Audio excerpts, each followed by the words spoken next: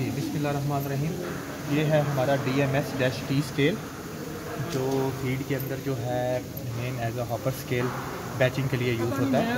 हम आज इसका आपको कैलिब्रेशन प्रोसीजर बताने लगे हैं। सबसे पहले कैलिब्रेशन स्टार्ट करने से पहले हमें जो है इसको ओपन करके इसका जो अंदर रन और कैल का स्विच है एक, इसको कैल कैलिब्रेशन साइड पे करना होगा। अभी हमने इसको कैलिब्रेशन साइड पे कर दिया है। और उसके बाद जब हम इसको कैलिब्रेशन साइड पे कर देते हैं तो स्क्रीन के ऊपर मेरा कैल मोड आ गया है। इट मीन्स कि सिस्टम जो है अभी कैलिब्रेशन कैलिब्रेशन मोड में है। तो फ़र्स्ट स्टेप जो है, उसमें ये है कि हम इसको जो है एडीसी मोड पे जाएँगे। एडीसी मोड के अंदर हम जो है, सबसे पहले हम फिज़िकली चेक करेंगे कि स्केल एम्प्टी है।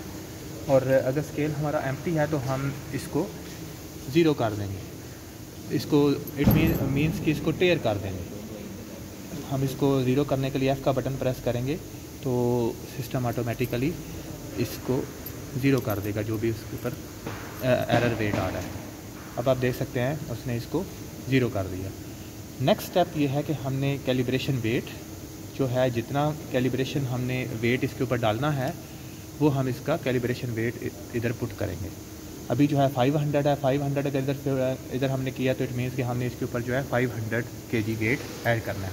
तो अभी हमारे पास जो वेट है वो है three zero two point four अब हमने इधर three zero two point four weight select कर लिया, जो हमारे फ़िज़िकल वेट्स हैं, उनका वेट हमने चेक किया तो वो three zero two point four था। तो इसलिए हमने इधर three zero two point four weight जो है पुट कर दिया। अभी हम वेट जो है इसके ऊपर हैंग करेंगे। चलें वेट हैंग करें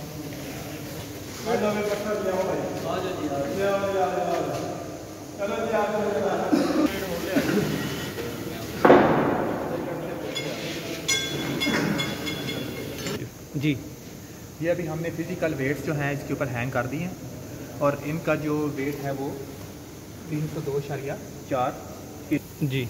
अभी सिंपली हमें इस इस वेट के ऊपर इसको कैलिब्रेट करने के लिए एफ़ का बटन प्रेस करना होगा।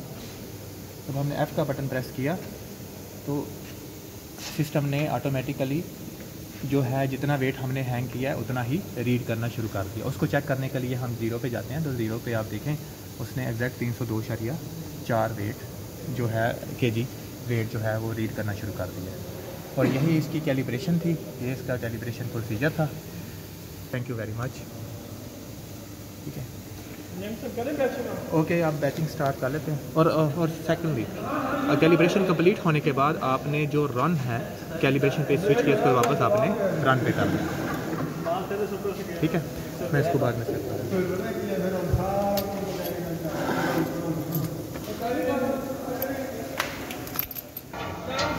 आगे।